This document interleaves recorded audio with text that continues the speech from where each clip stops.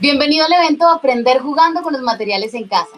Este evento parte de las experiencias para jugar, para narrar, para explorar, para crear y aprender actividades para toda la familia propuestas desde el Ministerio de Educación Nacional y que se transmiten todos los miércoles a las 3 pm y sábados a las 10 am.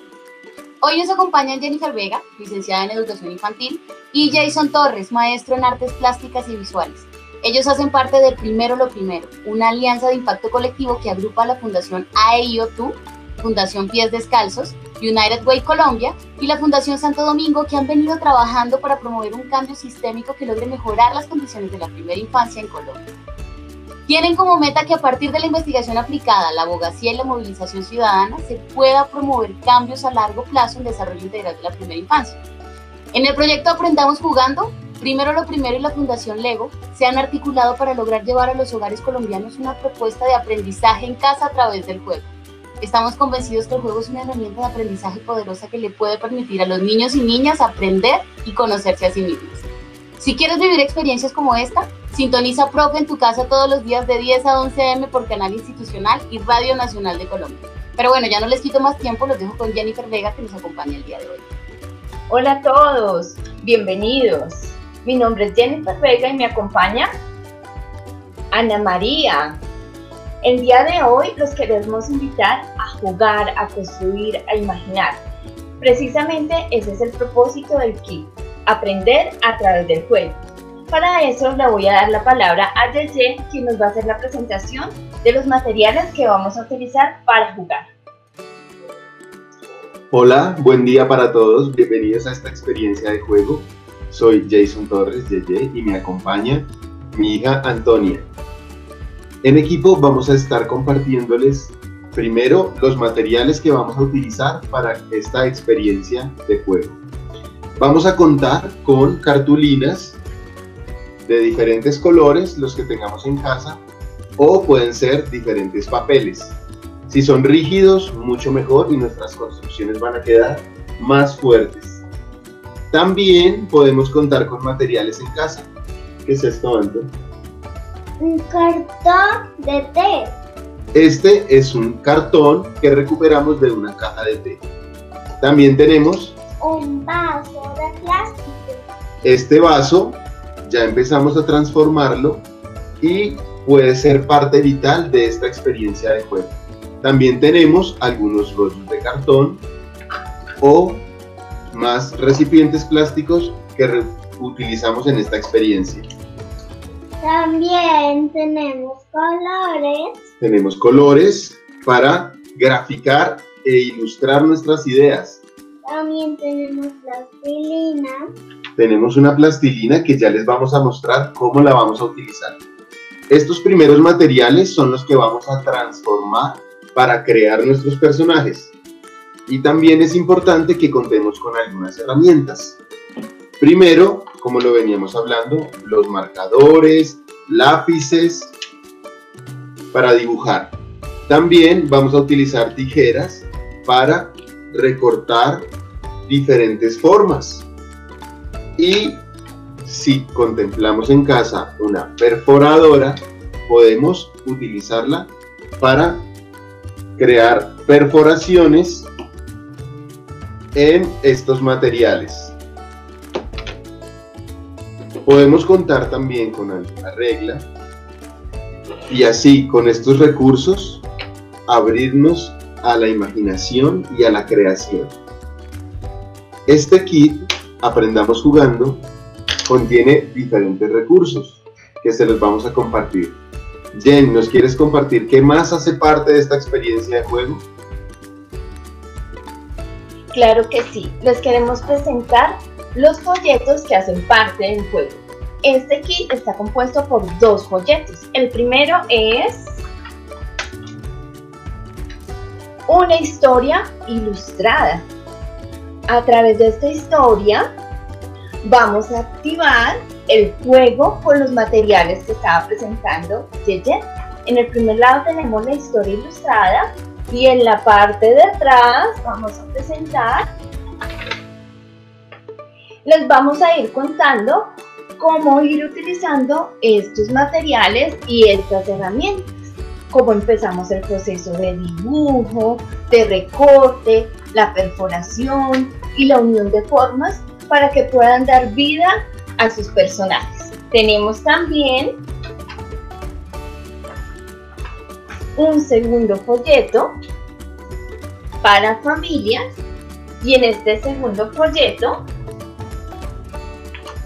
vamos a ir retomando algunos tips para poder jugar en familia, para que ustedes puedan jugar el día de hoy, pero también puedan continuar el juego en sus hogares. Entonces, vamos a iniciar entonces con el folleto 1, con la historia ilustrada. Entonces vamos a invitar a Yeye a empezar a contar la historia. Y a través de la historia podemos empezar a imaginar y a crear y a capturar estas formas que nos sirven para empezar a crear nuestros personajes. Súper. Pues esta historia se llama Una selva en mi casa. Y voy a acercarme para que puedan percibir esa escena que surge allí. Esta es una invitación a soñar e imaginar. Y el viaje empieza despertando en un sueño. Vamos a observar qué lugares aparecen allí. Vamos a observar qué pasa, qué personajes extraños aparecen en casa. ¿Cómo se transforma este lugar? Después de despertar, me he dado cuenta que mi habitación se ha convertido en un lago y empiezo a saltar hasta jugar con los gestos con mi amigo el mono. Así sigo explorando y llego a otro lugar. ¿Qué lugar será este? Miremos muy bien esos objetos. ¿Dónde está observando este niño que está recorriendo este lugar?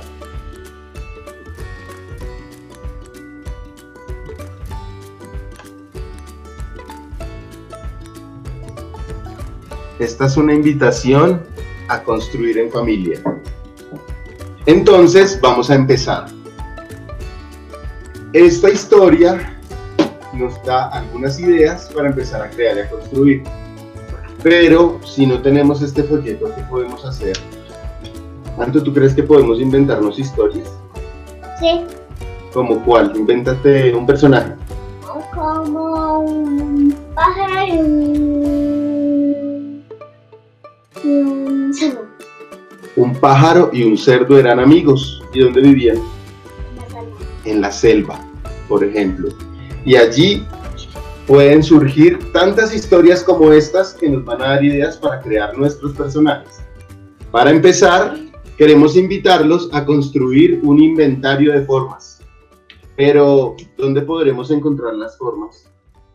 Yo creo que en la ciudad de formas. La ciudad de las formas. ¿Dónde quedará esa ciudad? Yo creo como en Bueno, la vamos a encontrar. Para encontrar las formas podemos partir de nosotros mismos. ¿Qué tal si tomamos alguna superficie transparente o puede ser un plástico y capturamos esas formas de la cara? ¿Me ayuda, Santo? Claro que sí. A ver, vamos a capturar una forma de la cara. ¿Cuál puede ser? Elige uno. ¿Qué tal la forma de mis ojos? ¿O de mi nariz? O de mi boca, o de mi cabello, o de mi cabeza, Perfecto. o de las piernas. Entonces captura una de las formas de mi cara. ¿Cuál puede ser? Yo quiero tener. A ver, No, tu boca. No.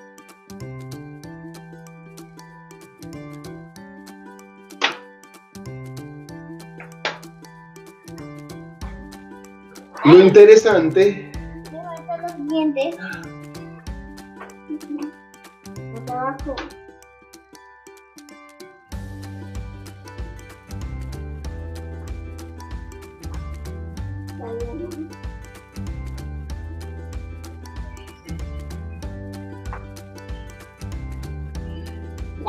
Listo. ¿Qué formas capturaron ustedes? ¿La de las orejas? ¿La de los ojos? De la ¿Cabeza? cabeza. Esa es una posibilidad. También podemos encontrar muchas formas en los objetos de casa.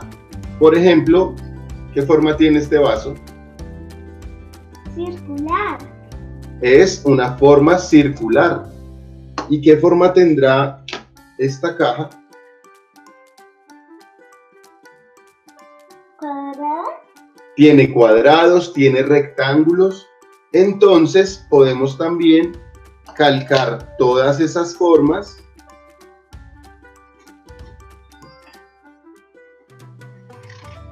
para tener nuestro inventario de formas que van a servir para crear muchísimos personajes, para activar nuestra imaginación, para transformar estos materiales y crear una infinidad de cuentos, historias y relatos. ¿Cómo vas con tu inventario de formas, Jenny y Anita? Cuéntenos. Entonces, les queremos contar que podemos jugar también con las formas. Hay unas formas básicas, ¿verdad? Que ya conocemos. Las formas circulares, el rectángulo, un cuadrado, pero hay otras formas, como las formas del rostro, que estábamos jugando con estas formas, que son formas más orgánicas, es decir, que no, que son, no son circulares, que tienen otro tipo de formas, y precisamente en eso está también la diversidad de las características del cuerpo. Estas formas están en el entorno, entonces podemos invitar a los niños a capturarlas, a ir más allá de estas formas de pronto preconcebidas que nosotros ya conocemos. Los queremos, queremos presentar las formas, no sé si acá se alcanza a ver un poquito, que estuvimos capturando hoy. Como es la, la forma, las formas de los ojos, como son las formas de los ojos de mamá, como son las la forma de los ojos del papá, del niño, cuál es la, el tamaño que tiene, la forma de, de la frente, en este caso capturó Anita, la forma de la boca, la forma del rostro. Podemos hacer un sinfín de juego de formas y por eso es tan importante este juego que nos está invitando a, desa- a desarrollar Yeye. Entonces, este primer momento nos llevó a la observación y al dibujo. Después de observar y dibujar, empezamos a, a recortar las formas. Les quiero mostrar algunas de las nuestras. Esta es una forma un poco más extraña. ¿A qué se parecerá esto? ¿Qué podría ser? Ahora estoy bailando un pie acá. Es una estrella bailarina. Sí, ¿no? Tenemos una forma más geométrica, más cercana a un cuadrado. Tenemos esta De sonrisa. de sonrisa y Anto me está ayudando a recortar, aprovechando los diferentes materiales que encontramos En este momento del recorte podemos también, eh, esta es una labor más para los padres o para los adultos acompañantes, trabajar estos materiales plásticos y, y prepararlos para el juego. Entonces podemos retirar eh, los, eh, las bases para que la perforación, digamos en el caso de la perforadora, pueda funcionar y pueda ser un elemento para conectar. ¿Sí ven?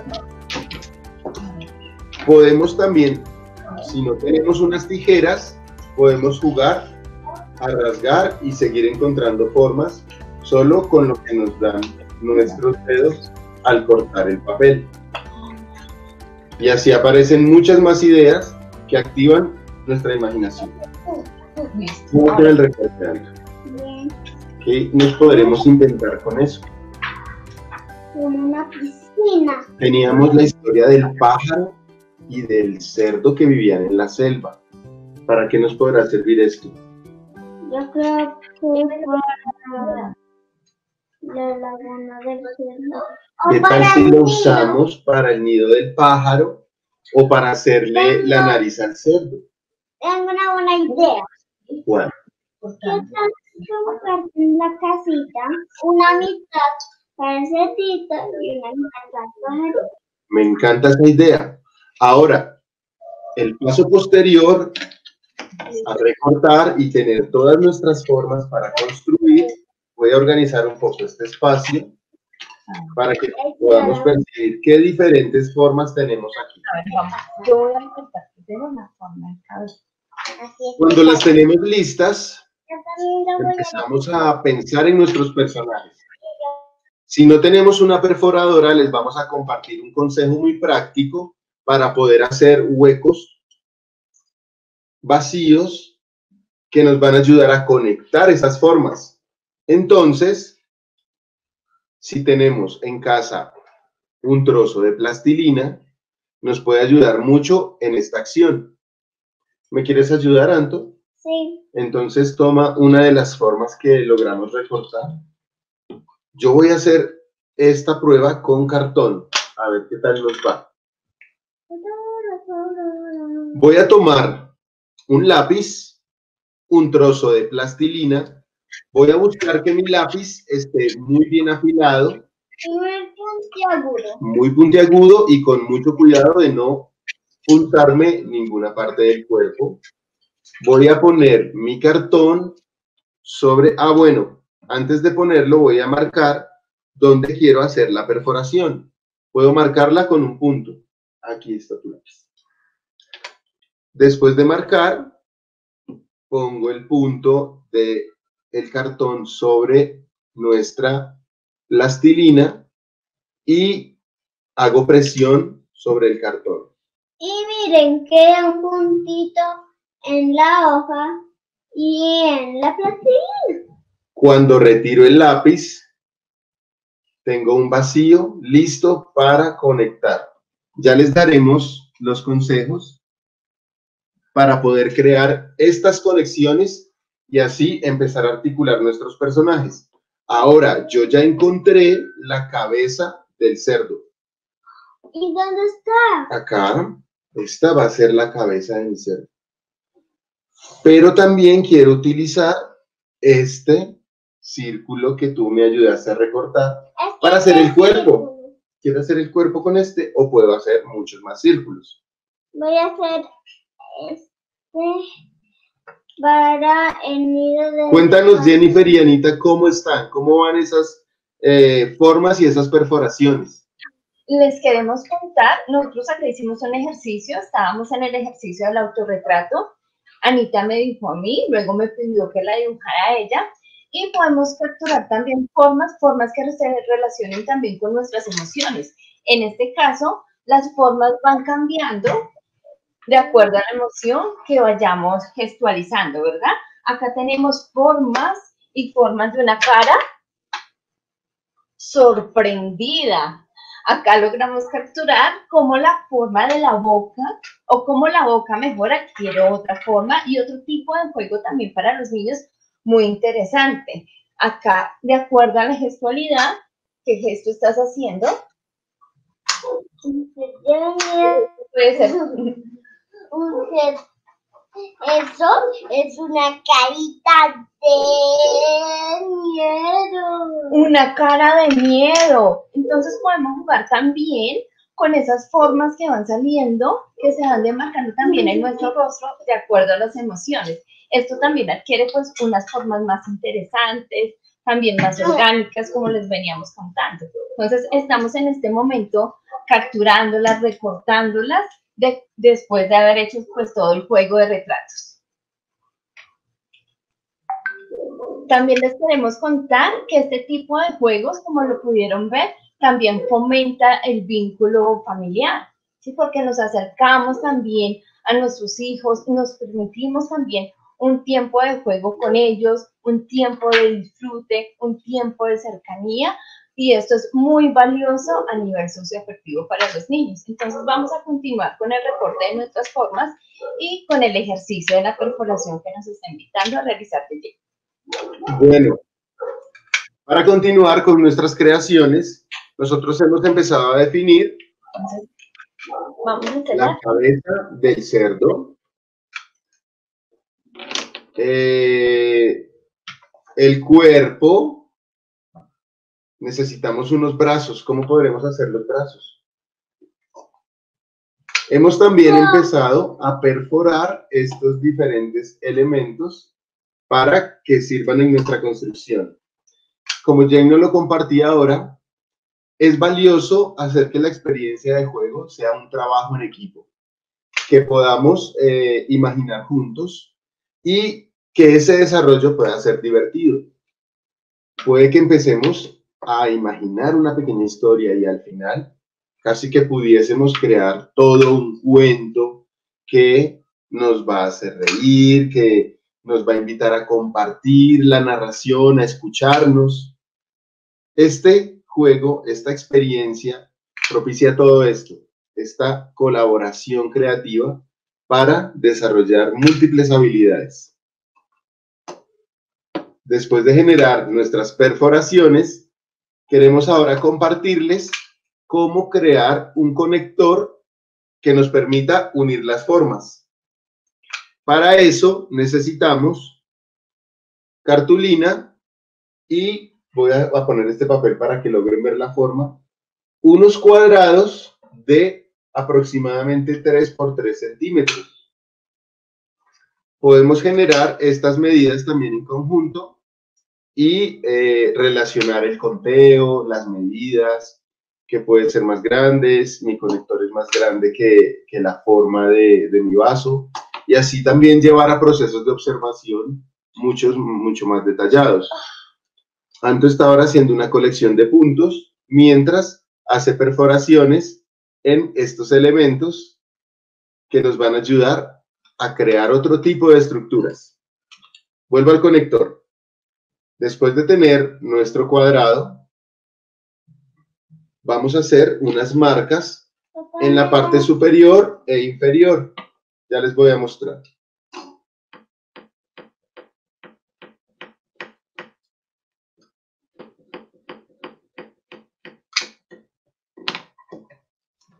Estas marcas las tracé con el lápiz para luego poder recortarlas.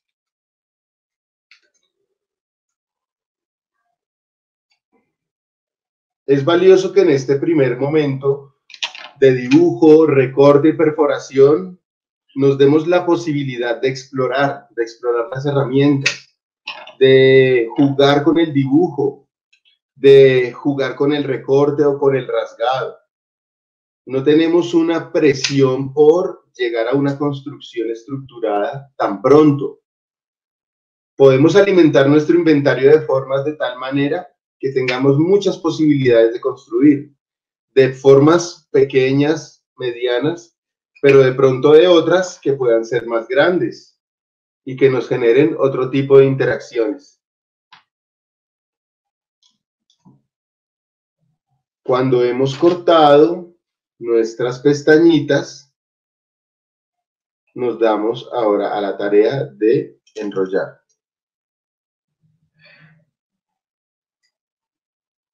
Para que resulte un tubito de este porte. A ver, lo voy a poner sobre esta superficie para que lo podamos ver con mayor claridad. Estos conectores son tubitos que nos van a permitir crear uniones entre nuestras formas. Y cuando lo hemos atravesado, para que no se salga, abrimos las pestañitas. ¿Me ayudas a conectar aquí una de las formas que ya tenemos perforadas? Sí. A ver, puede ser uno de esos tubitos. O puede ser, voy a hacer una perforación rápida aquí. Le doy mucha más forma a mi perforación.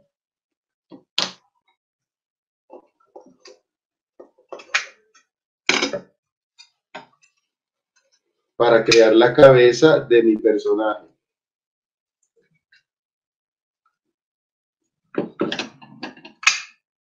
¿Cómo vas con esa perforación? Bien, aunque un poco fuerte. ¿Está fuerte? Sí. Mira. tengo, a ver, voy a ayudarme de esta cartulina para que puedan ver.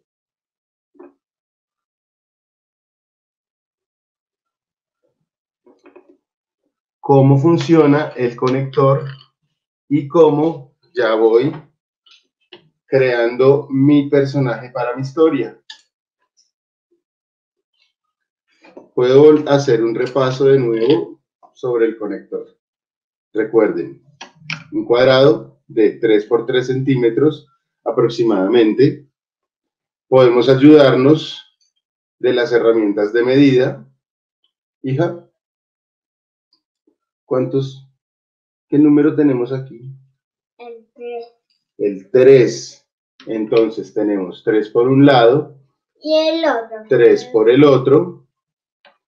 Recordemos que vamos a cortar unas pestañas que nos van a ayudar a asegurar de lado y lado nuestra construcción. Voy a, a permitir acercarme y compartirles ese paso a paso. Tenemos nuestro cuadradito, marcamos las pestañas, las recortamos. En un tercer momento enrollamos el conector para luego conectar nuestras formas perforadas. Mira, papá. En esta historia apareció un gato con este juego de formas, pero ¿qué otros personajes infinitos pueden aparecer? ¿Cómo podríamos usar esos puntitos? Yo no sé, ¿nos puedes explicar? Bueno, esos los podemos usar después en algo nuevo. Y algo importante acá es que podemos permitirnos explorar la perforación, el recorte. Es decir, es valioso encontrar este tipo de resultados. Después puede que este, eh, este rollo lo recortemos y se convierta en una forma nueva. O que podamos contar las perforaciones. ¿Cómo estarán Jennifer y Anita? Les preguntamos. Sí.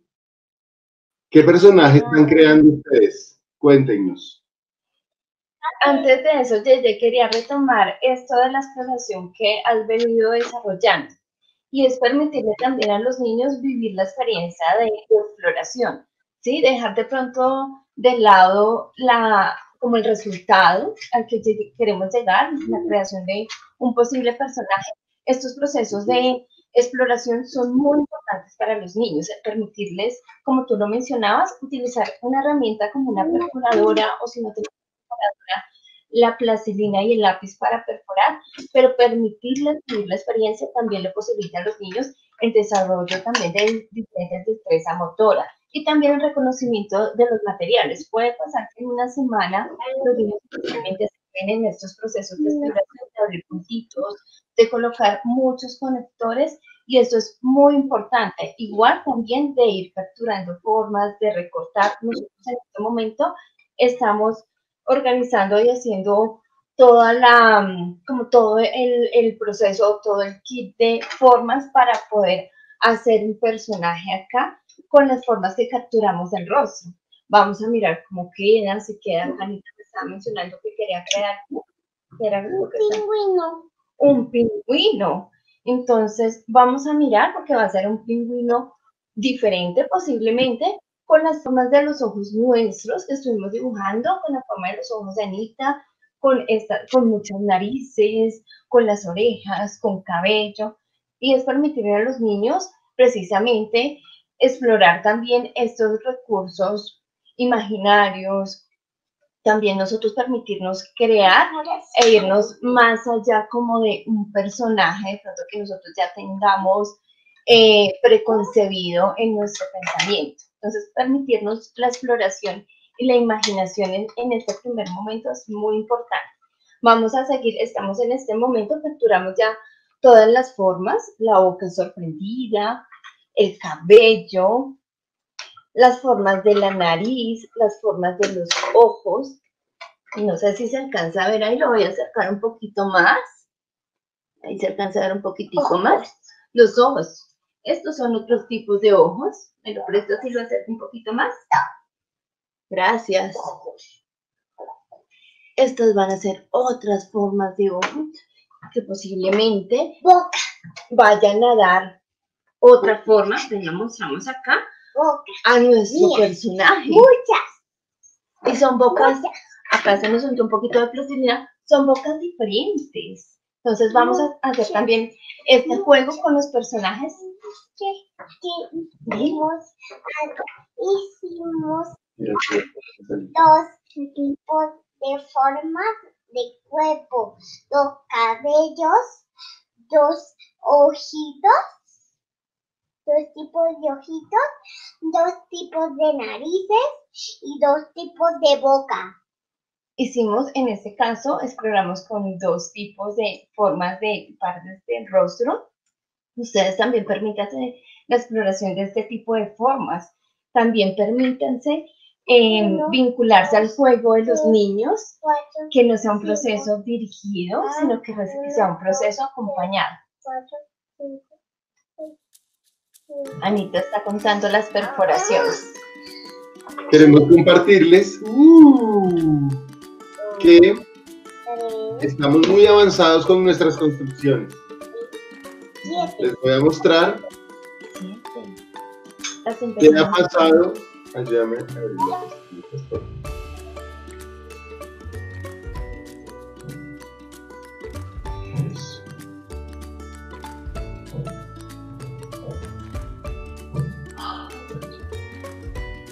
Entonces, por ejemplo, nuestra ave ya tiene su ala.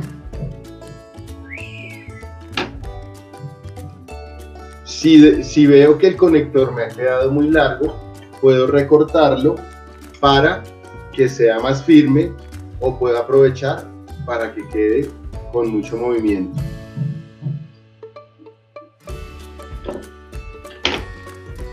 Este juego también nos permite generar diferentes repeticiones.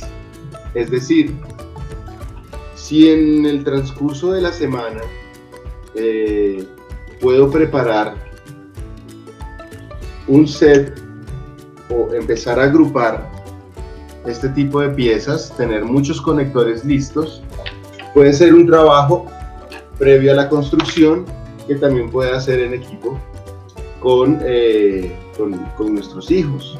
Podemos eh, marcar, medir y generar recortes para tener muchos de estos objetos que nos van a ayudar a crear y a construir. Así, cuando retome mi eh, universo de formas, mi inventario de formas, pueda tener listos estos conectores y que mis construcciones de pronto puedan empezar a ser un poco más grandes. Es valioso que en esa repetición, como lo hemos venido compartiendo, escuchemos las ideas de los niños, eh, qué más podemos crear, qué nuevos universos podemos construir y así aprovechar este viaje de creación. Por lo pronto,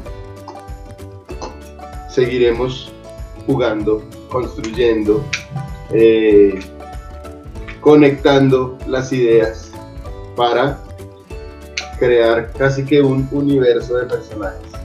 Y por qué no empezar a crear esas pequeñas narraciones microteatrales y después, ¿por qué no también inventarnos un escenario gracias a todos estos recursos de juego?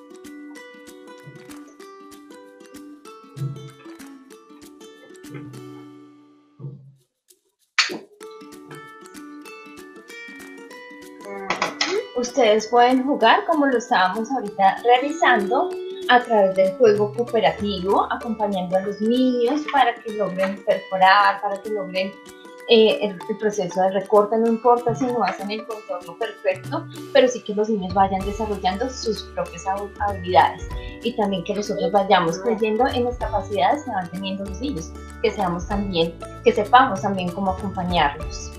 Entonces, también los queremos invitar a conseguir nuevos recursos eh, de su casa, nuevos recursos reciclados. Realmente todo el material que ustedes puedan perforar, que puedan recortar, les puede servir. Nosotros utilizamos estos tubitos, pueden utilizar también los cartones en este caso que salen de algunos productos, los pueden pues recortar y tener listos para el juego. También puede servir el material natural, las hojitas de los árboles, los pequeños palitos también de los árboles nos pueden servir para enriquecer el juego.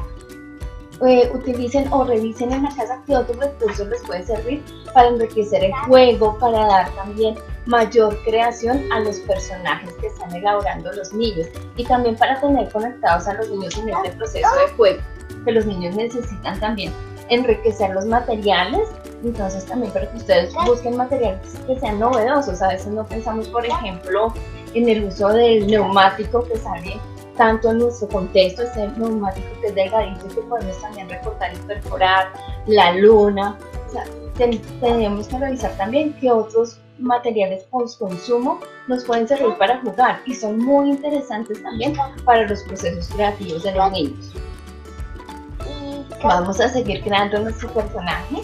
Eh, Anita le está colocando en la parte de arriba, utilizó la boca como ojos en este momento está creando un conector y vamos a seguir jugando con las formas de que capturamos inicialmente, las formas de rostro, para seguir jugando con este que va a ser el cuerpo y que va a ser un personaje tridimensional.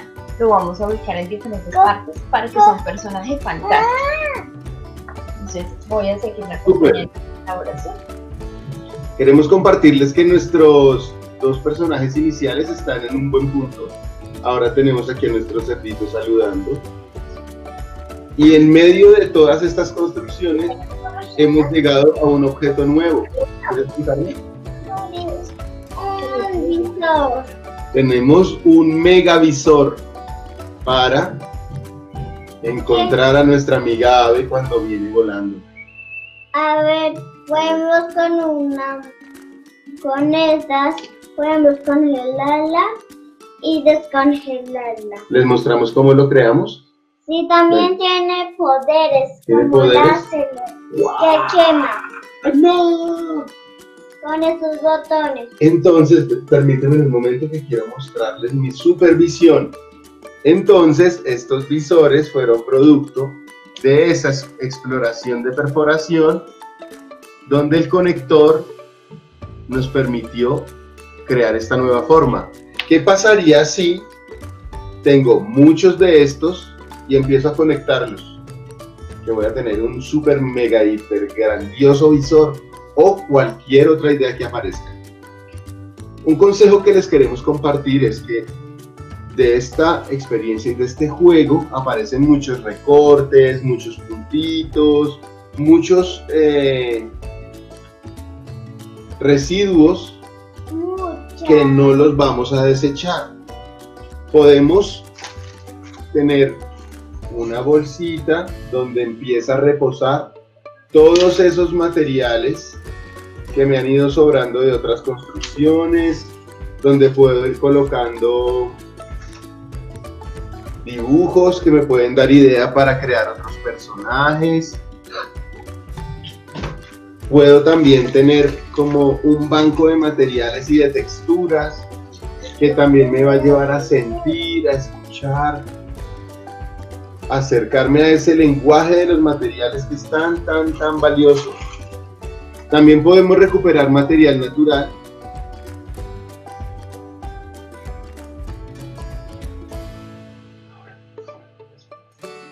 y por qué no tener algunos retazos de tela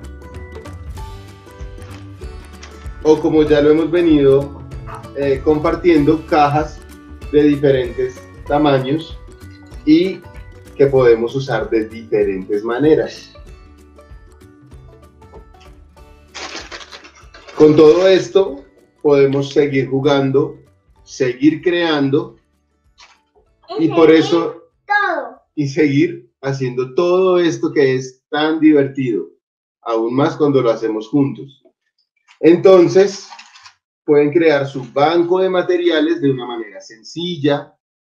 Después podemos catalogarlo por su textura y así ir como ampliando ese inventario también de materiales con eh, los que vamos a jugar y muchos de ellos encontrados en nuestra cocina, eh, de pronto recuperando cuadernos o eh, algunos papeles que ya no estemos utilizando y así poder aprovechar todo esto para jugar. Mira, por ejemplo, este. ¿Qué podríamos hacer con esto? Podemos hacer un trampolín ¿Y si lo conectamos a este? ¿Podemos hacer un saltarín? una idea para que dispara mucha fruta Uy, sería un superpoder.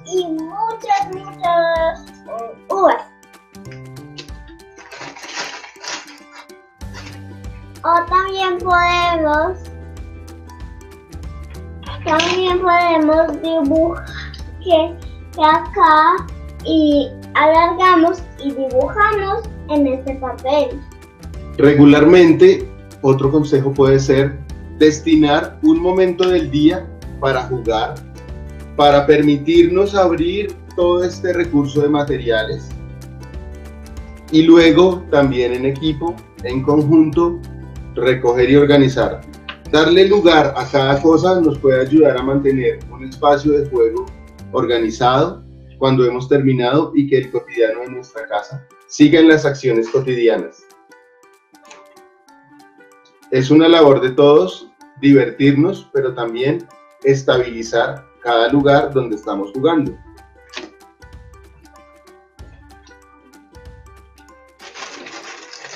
¿Me ayuda a recoger? Entonces, con estas creaciones, ¿qué podría seguir en nuestra historia? ¿Qué les pasa a esta ave y a este cerdo que viven en la selva? ¿Qué tal si se vuelven amigos Se vuelven amigos. y con los dos, ¿Cómo- ¿Cuál quieres? ¿El cerdo o el ave? ¿El ave? Listo. qué tal si Hola. ¿Cómo, cómo hablaría ese pájaro?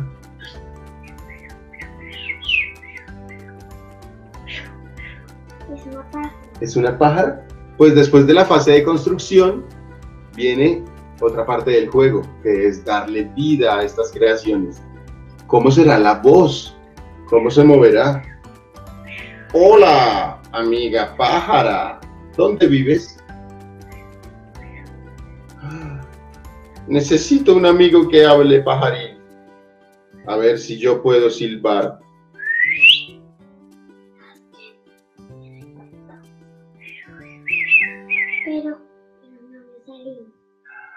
Ella intenta comunicarle que vive en un árbol gigante y que todas las mañanas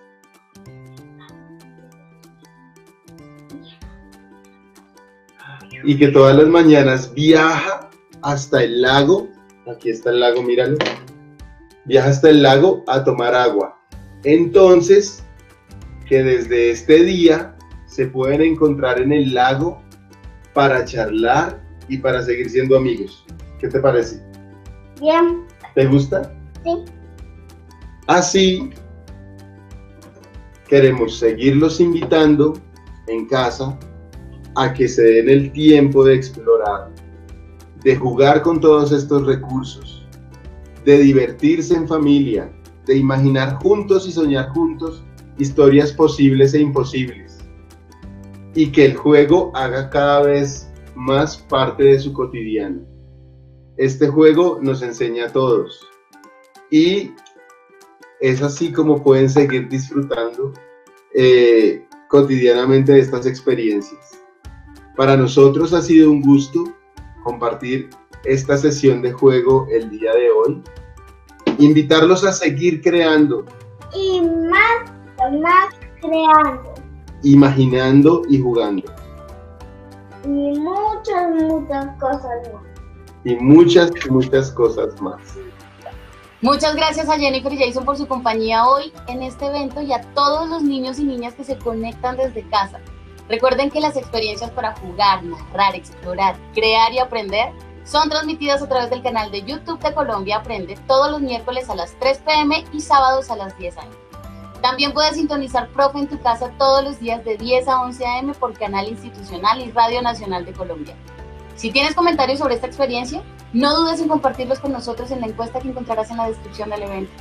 De nuevo, muchas gracias por acompañarnos y los invitamos a disfrutar de los eventos que el Ministerio de Educación Nacional tiene para ti.